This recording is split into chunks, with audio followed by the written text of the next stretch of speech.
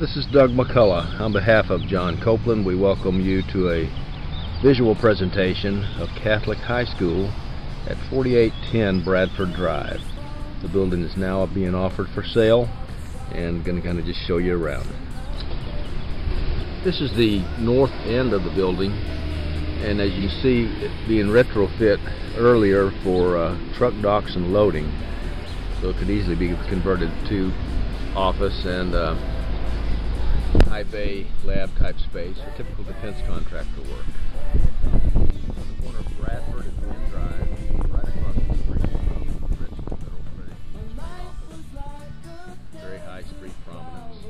The main entrance. The property is being offered by NAI Chase Commercial.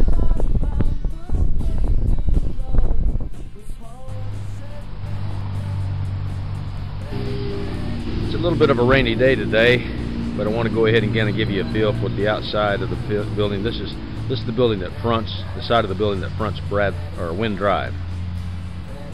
This is the Wynn Drive entrance.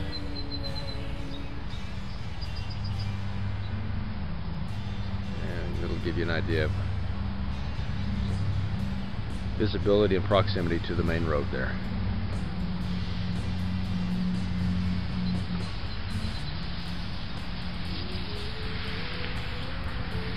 And there's Redstone Credit Union right across the caddy corner on the intersection of Wynn Drive and Bradford. Buildings offered for sale by NAI Chase Commercial on behalf of the Catholic Diocese of Birmingham.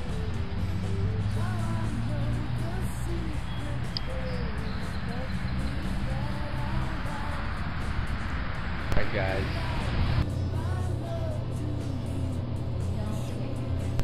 This is the primary lobby entrance off of Wynn Drive. As I pan around here, you can see the large area that was used as a cafeteria in the previous occupant. It could easily be converted either to open bullpen area, a drop ceiling could be installed, and interior partition walls added, and you could have several windowed offices. As I come around to this side, the bank of uh, bathrooms right here. This could end up being a common area and through these double doors convert this to another private lobby and entrance for a second tenant that could occupy the lower floor here and use this.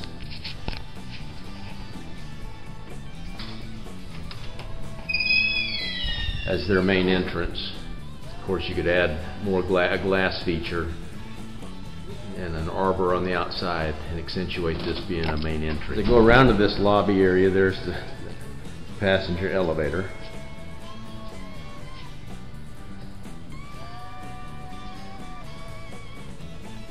This is the bottom floor of the two-story portion of the building. Handicap accessible inside the ramped floors.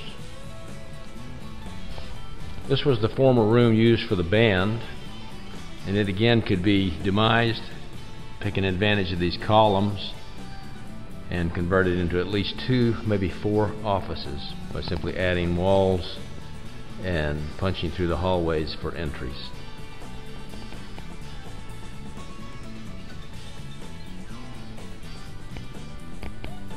This is the men's locker room. Typical bathroom with the stalls and the shower.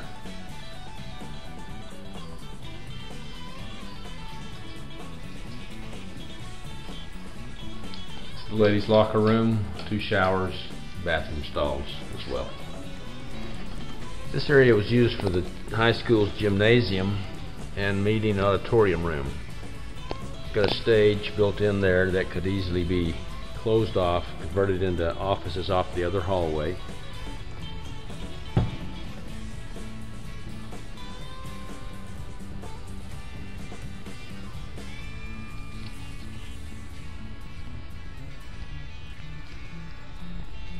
This is the same auditorium assembly room, but from the main entrance. This is the school library. Which once again is large for uh, office, but it could easily be demised. You can see the columns between the bookcases there and the other points of entry. You could convert this to an open cube area or convert it into some private office space. This view is to from the main uh, administrative section looking north to the primary entrance. We had just uh, looked at uh, the library and the the darkened hallway there is the entrance to the auditorium. The administrative portion of the building is made up of smaller offices, uh, typical office sizes. Six foot corridors. This is a large conference room that's on the southwest corner of the building. As all of the larger rooms, uh, this could be demised into smaller offices or utilized as it's currently configured as a conference.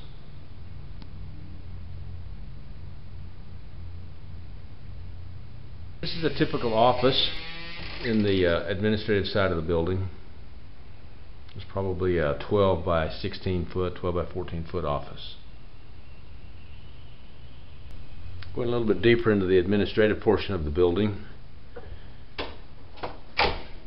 this prop property offers two SCIF or secured rooms.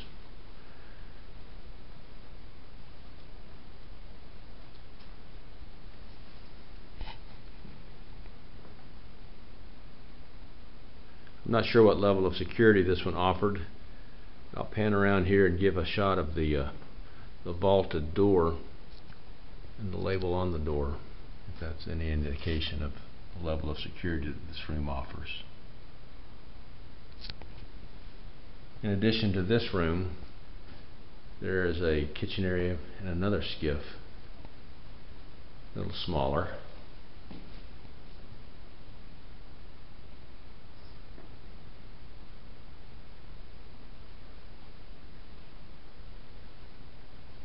On the Bradford side of the building, there's this office admin area that has a secured lock and window for the lobby. This is the Bradford Drive entry in lobby and uh, this is the other side of that secured window.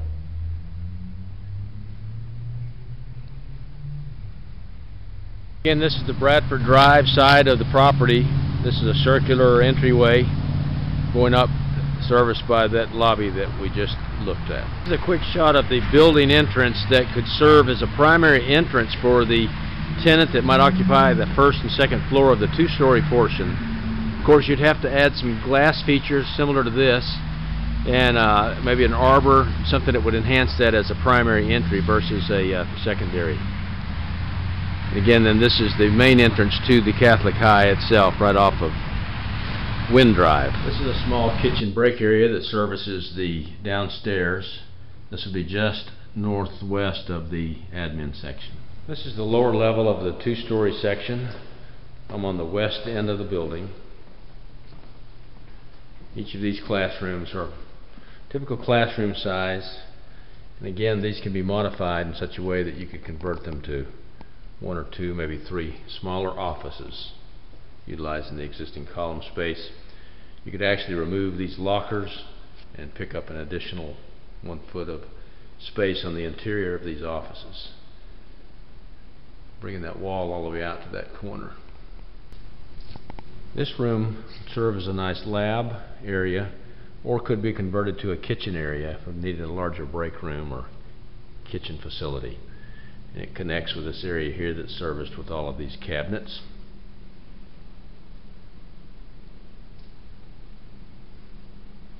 And a, uh, a vented hood.